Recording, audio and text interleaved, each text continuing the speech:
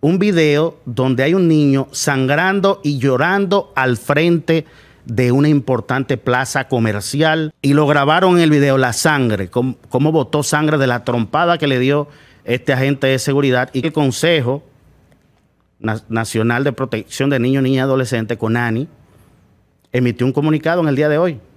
No hablan de sancionar lo que hizo su guardia de seguridad. Lo que dice el comunicado es que ellos no pueden someter al menor. Pero, señores, casualmente, esta es la misma plaza.